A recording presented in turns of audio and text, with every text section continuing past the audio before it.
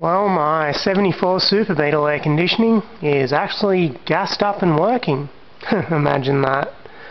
Just in time for summer. Although it's hard to imagine on a day like today that it's uh, only two weeks till summer. But anyway, um, I guess starting with the heart of it, uh, just a standard Subaru compressor. Um, my original donor car was a 92 Liberty or Legacy, uh, so the compressor in it was designed for R12. So by the time I frigged around changing the oil, replace the shaft seal, replace all the O-rings, change the service valves, blah blah blah, it was just easier to fit a new compressor. Um, I picked this one up nice and cheap. It's a genuine uh, Subaru Nippon Denso one. Um, and it's designed for 134A so it was fine to just chuck in and gas up. But I did have to get all the aluminium hard lines out of a 97 Outback. The R12 ones are different. It's got the standard low side service valve there but because Subarus have the high side one up at the dryer uh, had to put a universal one in there but it's big enough to handle a uh, large Subaru station wagon so a little Beetle interior cab with uh, only 20% window tinting is uh, no effort at all. Um, pipework's all just uh, flexible rubber refrigeration line. Uh, there's 10.2 metres of it all up so that probably sounds excessive, but especially considering your average front wheel drive, uh, front engine car has got five or less, but it's not out of the ordinary. All rear engine Porsches are like that, and the majority of tractors, that's Army Lamborghini there has got over 11 and a half metres of uh, pipework. Uh, pipework runs just under the sill with my uh, coolant lines up to the front where my condenser is. Uh, the condenser is just a J-Air universal replacement for a um, Mitsubishi Express van uh, or Star Wagon standard wheelbase so they've got triple interior space of a, uh, a Beetle interior so um, that's not even breaking a sweat.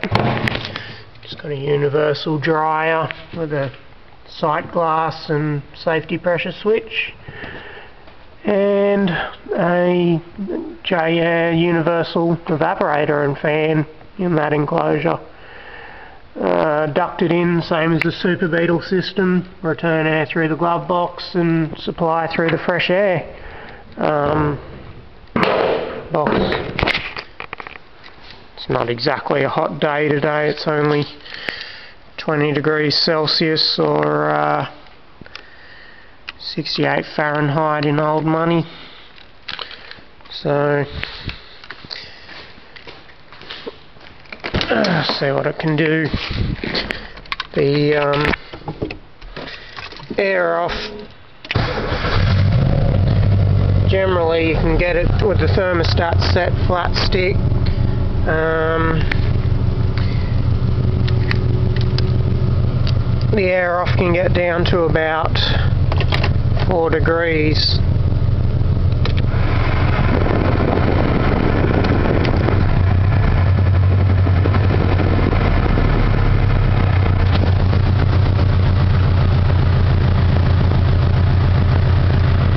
uh, just running standard Super Beetle uh, air conditioning ductwork and outlets and my uh, controls are mounted in my center console.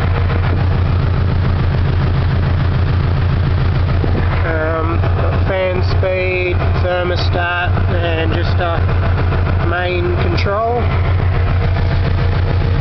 Um, down set flat stick at the moment.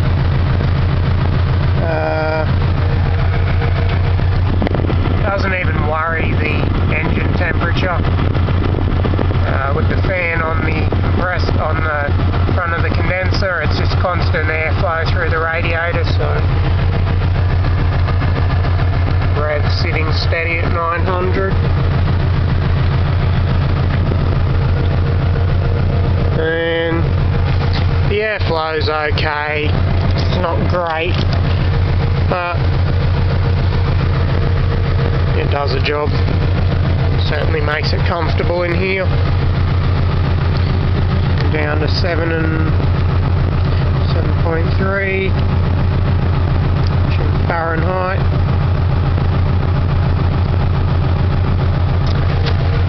Um,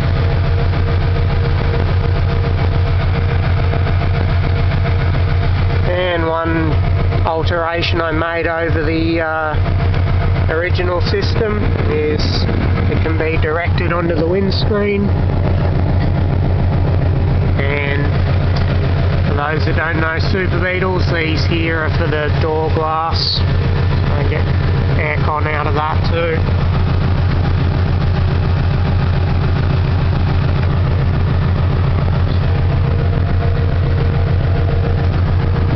Should hopefully cut out soon because it's getting fucking cold in here.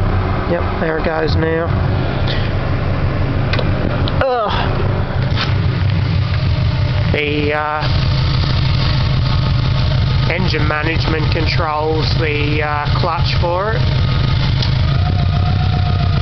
That's just so that uh, when you start the car up, if you've left the air conditioning on, the compressor won't start up for about five seconds, just to give the engine a chance to start up and settle down. And it also cuts it out if you go full throttle.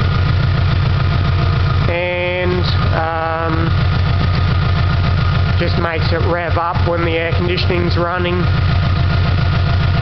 as you would expect, a uh, 150 horsepower engine doesn't even notice the air conditioning running. See the suction there's starting to ice up a bit because I've got it set so cold.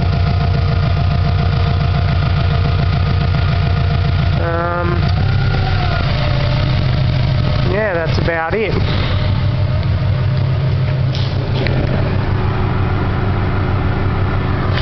See, it's probably getting down to about 4 degrees Celsius. That's with the thermostat flat stick. It'll uh, get the cabin temperature down to about 15 degrees Celsius, which is too cold to be comfortable. Yeah, that's about it.